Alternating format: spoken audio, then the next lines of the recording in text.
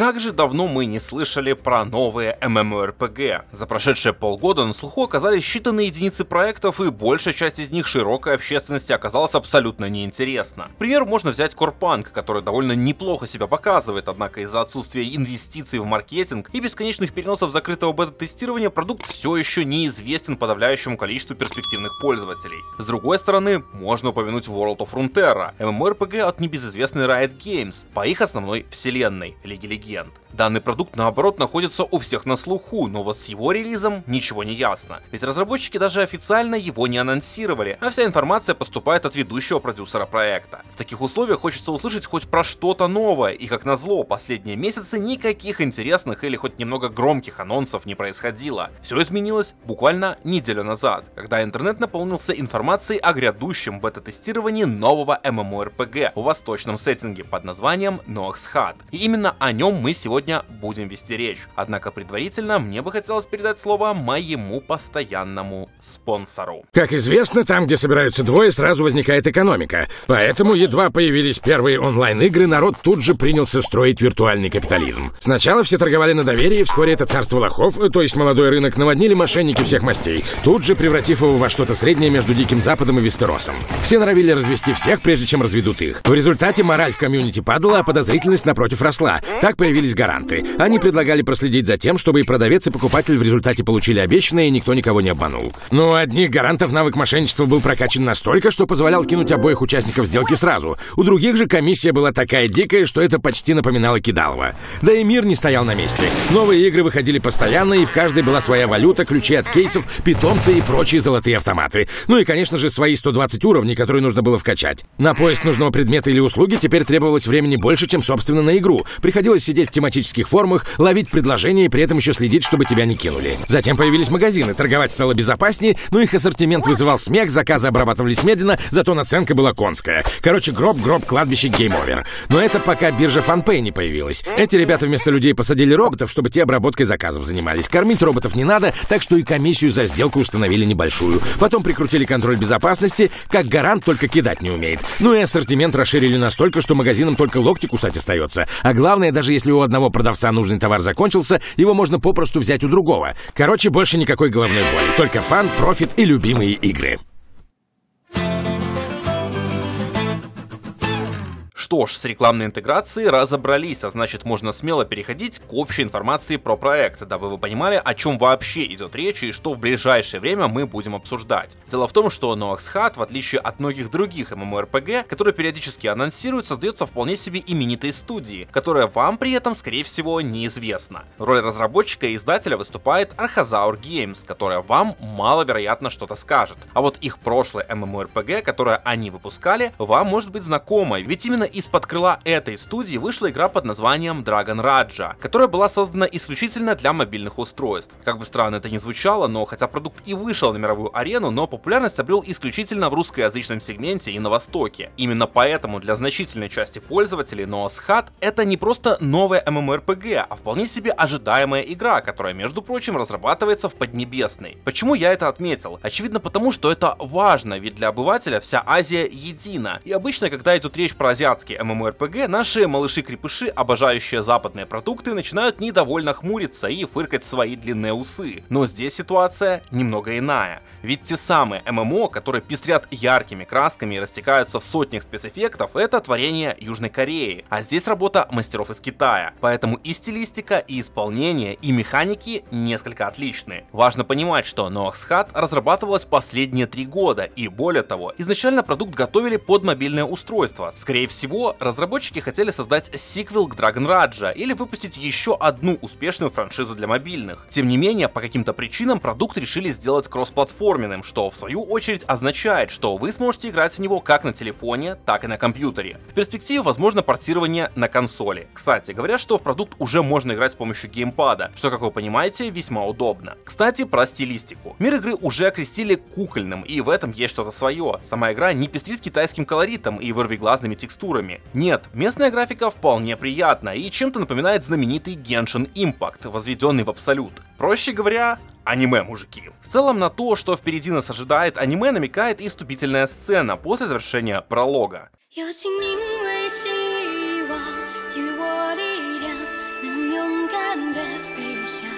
Xiang 明日未知的前方，而你比我。Простите, не та сцена. Осмелюсь предположить, что мою публику подобная графика и подобное начало может отпугнуть, но не спешите делать выводы. Механики могут вас приятно удивить.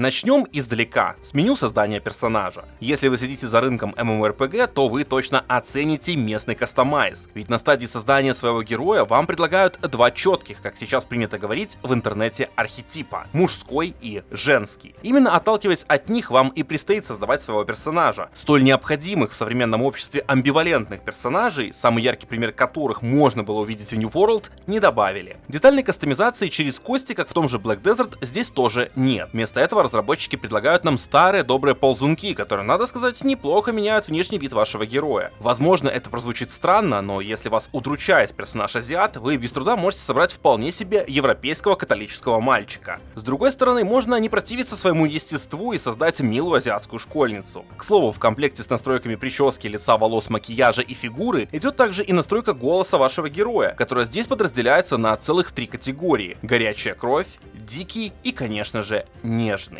Каждый из разделов будет содержать 5 заранее записанных пресетов с оханьями, стонами и скриками. Фирменной фишкой Noah's Hut является то, что здесь экипировка не влияет на внешний вид вашего персонажа. Какие бы предметы вы на него не одели, он всегда будет выглядеть одинаково. Именно поэтому разработчики с первых минут радуют нас возможностью выбрать стартовый костюм для нашего героя. Нужно заметить, что подобные функции есть и в других MMORPG, например в Arcade и Revelation. Однако в них выбор заканчивается примеркой и в открытом мире вы появляетесь в образе оборванца. Здесь же можно собрать вполне себе приличный внешний вид уже на старте. Также разработчики предложат вам выбрать вашу будущую специализацию. Здесь, как и в New World или множестве других популярных проектов, все решает оружие, которое находится у вас в руках. Именно поэтому класс как таковой отсутствует. Впрочем, есть и еще ряд нюансов, влияющих на ваши навыки, но об этом немного позже. Главное, что вы должны знать, это то, что на выбор у вас меч со щитом, два одноручных клинка, копье и лук. Позднее в игре открываются арбалет и дротик, однако про их сферу и принципы применения ничего сказать на данный момент невозможно, ведь игра находится пока еще на стадии закрытого бета-тестирования и подробностей, к сожалению, нет.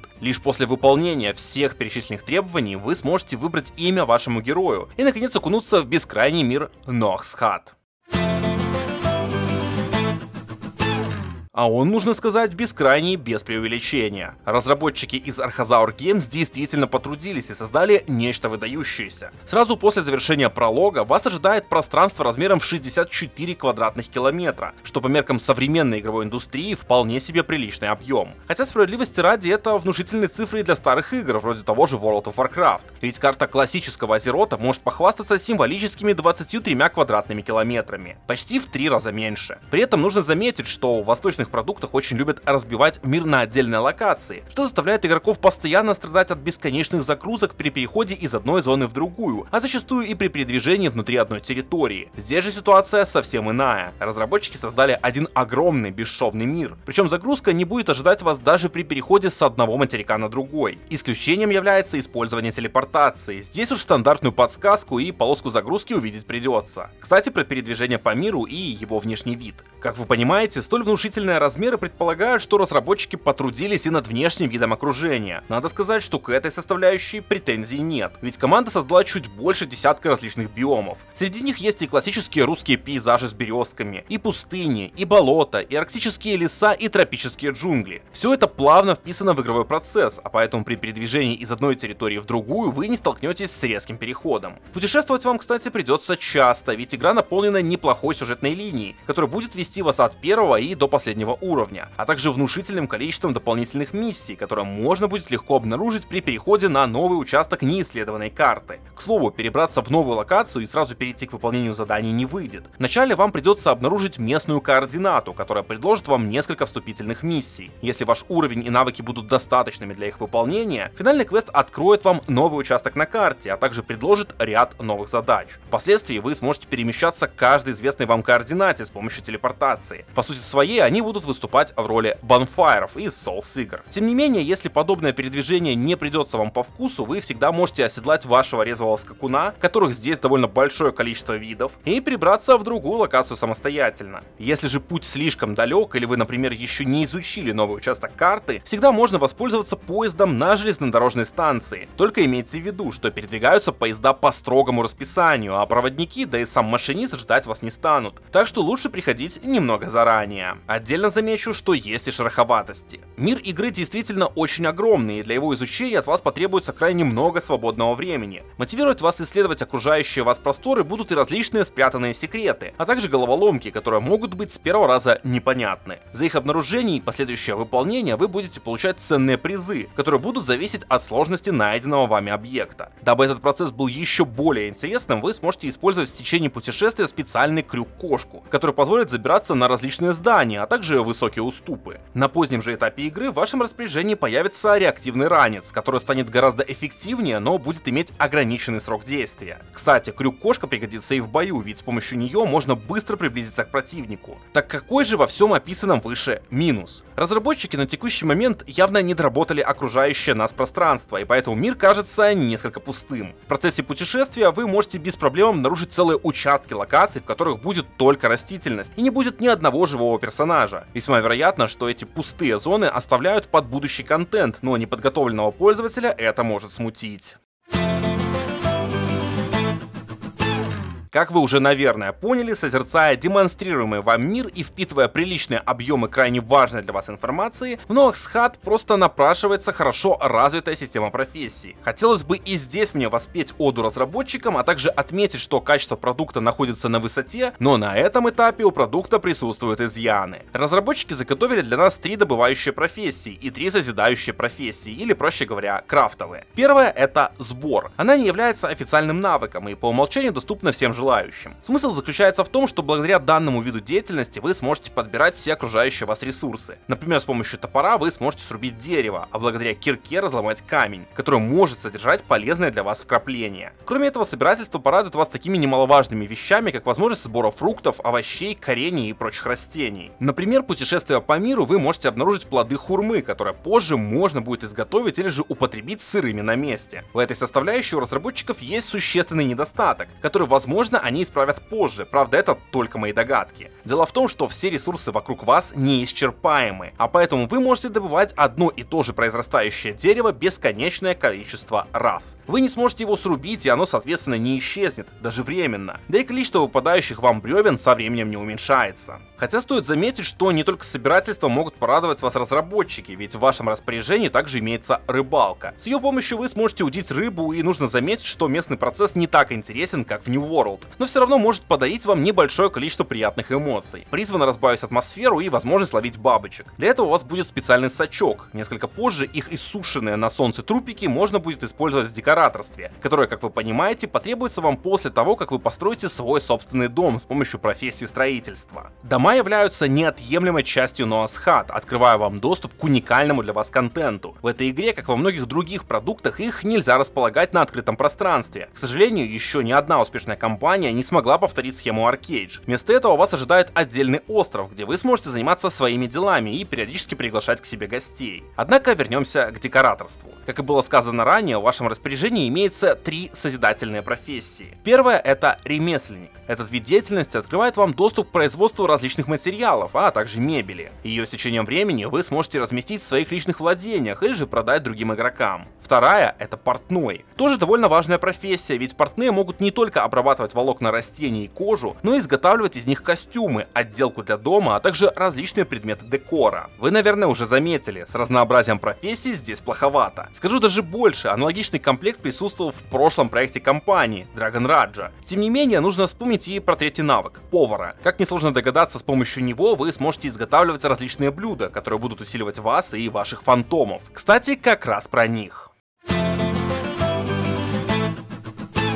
И вот спустя всего 6 пунктов мы наконец добрались до главной особенности предстоящего MMORPG. Как уже упоминалось ранее, эта игра чем-то напоминает небезызвестный Genshin Impact, который разошелся довольно внушительным тиражом и покорил сердца не только прожженных жизнью анимешников, но и вполне себе серьезных, взрослых, брутальных мужчин. Игра била в самое сердце своими прекрасными пейзажами, любопытной системой монетизации, занятной боевой системой и, конечно же, системой напарников. Именно она и является отличительной чертой Nox Heart, причем здесь она выполнена существенно приятнее, чем в упомянутом Genshin. Скажем так, разработчики поступили как Activision Blizzard, взяли чужую идею, разобрали ее на винтики, после чего собрали обратно, но уже в адаптированном виде, под свой проект. И получилось, надо сказать, лучше. Во всяком случае, если верить другим обзорам, а также множеству имеющихся уже в распоряжении рецензий в интернете. В чем же отличие и что же это за система такая? Дело в том, что Genshin Impact подарил нашему брату возможность играть в одиночную игру не в одиночку. Вы были вольны кооперироваться как с другими игроками, так и самостоятельно проходить различные активности при поддержке помощников. Эти самые помощники были представлены независимыми персонажами, каждый из которых обладал своей озвучкой, уникальным внешним видом, характером, историей и, конечно же, набором способностей. Вам же, как хорошему рабовладельцу, то есть э, другу, нужно было прокачивать этих героев, развивать их возможности и периодически использовать в различных сражениях. С течением времени, как и у любой учительницы в школе, у вас появлялись и любимчики, с которыми вы проводили больше времени, чем с остальными, и которых вы качали активнее остальных. Однако при этом вы не забывали пополнять свою коллекцию. В мире Nox Hat эта система сохранилась, но получила некоторые изменения. Для начала вы должны понимать, что местные герои делятся по грейду и звездности. Грейд это фактически их качество. В ходе путешествия, а также открытия различных коробочек и секретов вы можете получить как синего редкого персонажа, так и эпического фиолетового героя. А если же вы приложите определенные усилия или занесете внушительную сумму в игровой проект, то вы без труда откроете доступ к оранжевым легендарным персонажам. Все они будут требовать от вас опыта для поднятия уровня, который будет начисляться в ходе путешествий, а вместе с этим вам будет необходимо увеличивать и их звездность, которая напрямую скажется на их показателях. В целом, довольно близкая по механике схема используется в небезызвестной Raid Shadow Legends. Если вы не играли в представленный выше продукт или не пробовали нашего гостя, то эта игра точно мимо вас не прошла. Любопытно, что в ходе исследования мира вы будете периодически натыкаться на различные групповые активности, которых здесь довольно много. И выполняя их, вы будете принимать решения, которые в свою очередь будут влиять на ваши отношения с вашими спутниками, что соответственно или будет их усиливать, или не будет иметь эффекта. Также важно понимать, что групповые активности могут быть рассчитаны как на группы из полностью живых игроков, так и на группы, которые будет необходимо укомплектовывать из ваших фантомов. В значительной же части случаев вам будет предложен выбор. К примеру, игра может предложить вам пройти подземелье в составе группы из живых игроков, или прибегнуть к помощи ваших неодушевленных товарищей. Конечное решение исключительно за вами. Важно понимать, что в отличие от Genshin Impact, местная система фантомов выглядит несколько иначе. Разработчики не предлагают вам взять образ одного из ваших помощников, а вместо этого позволяют получить от него две дополнительные способности и ультимативный навык. Три же других ваших фантома также откроют вам доступ к своим ультимативным способностям, которые можно будет использовать в ходе сражений, таким образом влияя на происходящее. Кстати, возвращаясь немного назад, а какой контент вообще может предложить вам эта игра?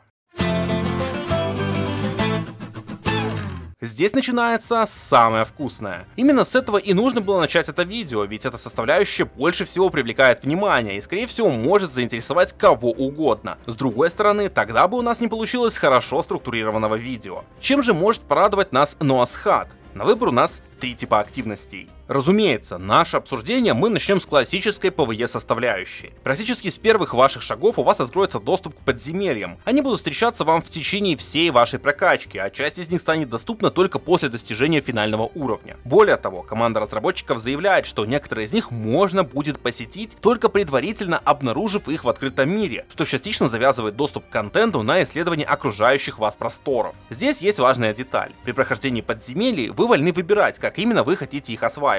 Если вы фанат социальной составляющей и взаимодействия с другими пользователями, вам будет предложено запустить систему поиска напарников. Они будут вполне себе одушевленными и живыми игроками, которые так же как и вы захотят пройти то или иное подземелье с другими пользователями вместе. Таким образом, для освоения вам потребуется найти целых трех союзников.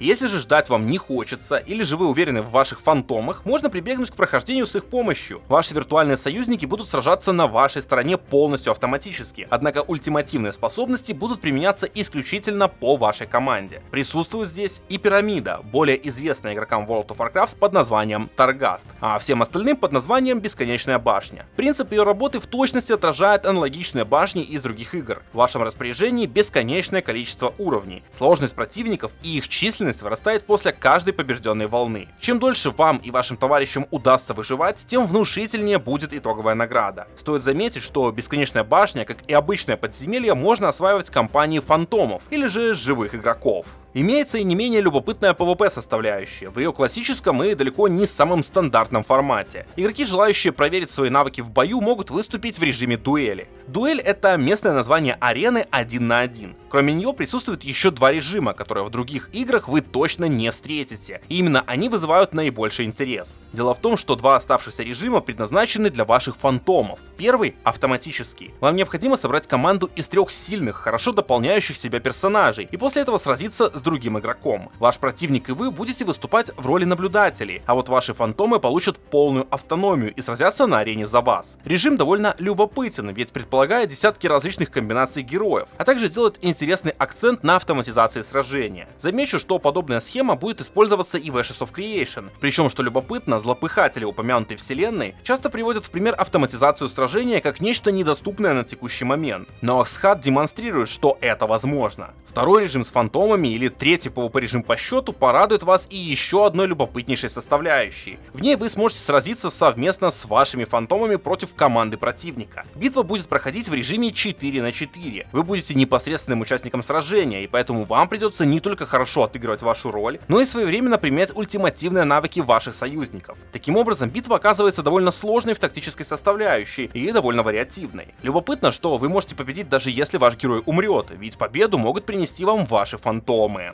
Нужно отметить, что разработчики еще не завершили работу над всеми режимами и форматами активностей, которые должны ожидать нас в будущем. Перечисленный контент это только часть того, чем вы сможете развлечь себя после запуска игры. Однако имейте в виду, что на этом игровая составляющая не заканчивается, ведь есть еще и исследования, которые здесь действительно интересны. Поиски сокрытых ларцов, разгадывание решения довольно сложных задачек, а также возможность совершить кругосветное путешествие с параллельным участием в огромном количестве морского контента. Это все то, что может предложить вам наш сегодняшний гость на текущий момент. И да, вы не ослышались, здесь действительно предусмотрена корабельная тематика, и она довольно неплохо развита.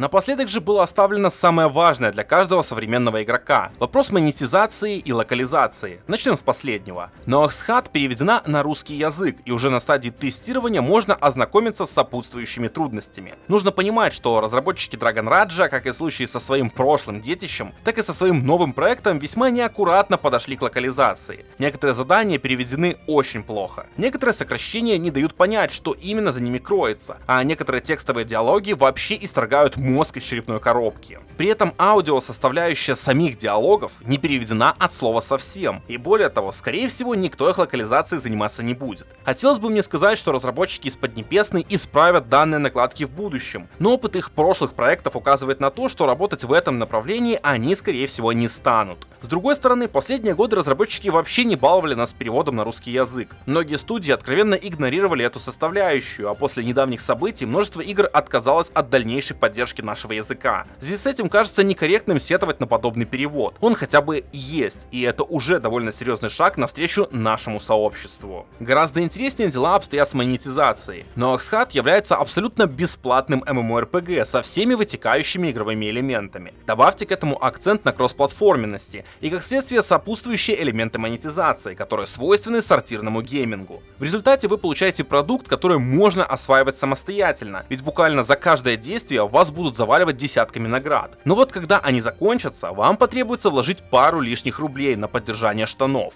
В целом здесь используется схожий подход, что и в Genshin Impact. Главные вложения завязаны на получении дополнительных персонажей за счет прокрутки знаменитого гача колеса, а также на развитие этих самых героев. Кроме этого, игра щедро сдобрена различными элементами кастомизации, которые можно без проблем закупить в магазине. На выходе мы имеем игру, которая не заставляет вас тратить, но позволяет вам быстрее развиваться за счет вложений. Причем развитие это скорее горизонтальное, нежели вертикальное, а поэтому на доминацию над окружающими вас игроками она не влияет. Правда, здесь нужна оговорка. Разработчики ранее радовали нас таким прекрасным продуктом, как Dragon Raja, и вот он не может похвастаться щадящей системой монетизации. Пользователи в нем высасывали до нитки всеми возможными способами. На стадии закрытого бета-тестирования действий в этом направлении со стороны Archazaur Games не наблюдается. Однако это не означает, что в будущем нас не ждет очередная порция контента, которая потребует весьма значительных денежных вложений.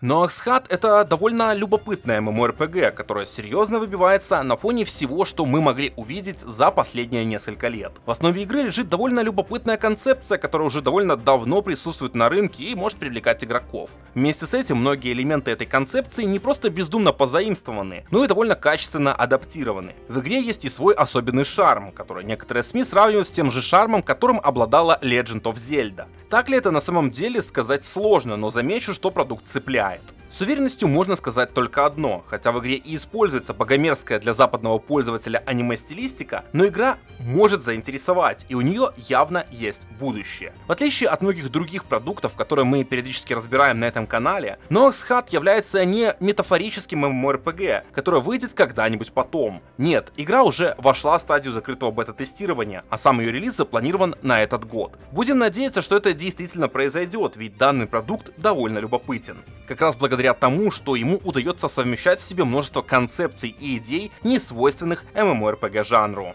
На этом я заканчиваю свое видео. Если оно вам понравилось или было полезно, обязательно поставьте ему лайк, а также поделитесь своими впечатлениями в комментариях. Кроме этого, не забывайте про подписку, ведь она действительно сильно мотивирует меня к скорейшему выпуску нового контента, а вам позволяет своевременно получать оповещения о его выходе. Заранее спасибо за вашу активность и до очень скорой встречи!